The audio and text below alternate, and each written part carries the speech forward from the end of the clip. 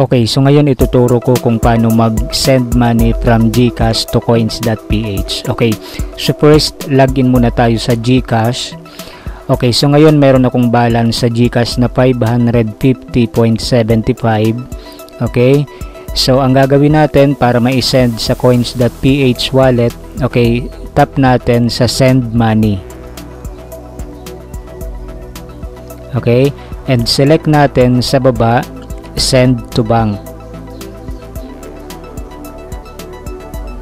Okay, then select naman natin, so tap natin dito sa baba itong view all and search natin yung coins.ph.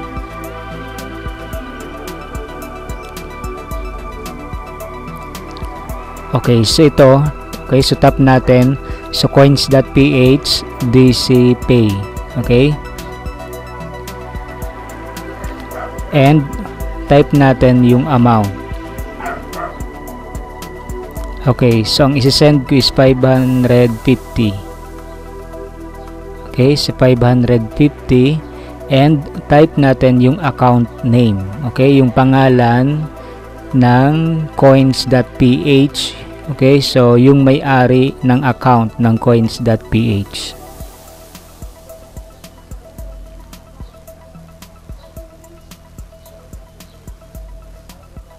so dito hindi tayo pwede magkamali okay ng account name.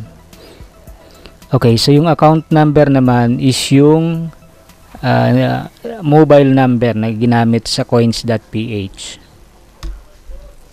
and yung email ng coins.ph. So sa email is optional. Okay, so pwedeng meron, pwedeng wala. Okay, so ako ita-type ko yung email address ko sa coins.ph. Okay, so kapag okay na yung amount, account name, account number, and then yung uh, email, okay, so tap natin sa send money. Okay, so pwede natin i-double check yung input kung tama.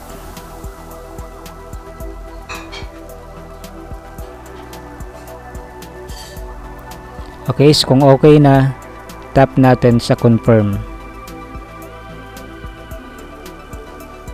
Okay, then tap natin sa okay. Okay, so ngayon check natin sa coins.ph. Okay, so ito na yung account ko sa coins.ph. So sa balance mayroon na siyang 991.37. Okay, so check natin sa history. Okay, so ito. So ngayon, so May 19, 2020. Okay, so 1:05 PM. Okay, so receive payment sa 550. Okay, so ito na yung galing sa coins.ph wallet. Okay, so yan ang pag-send ng money from uh, Gcash to coins.ph. Okay? So hanggang dito na muna. So abangan nyo na lang yung mga susunod na video dito sa channel. Okay, so good luck and God bless.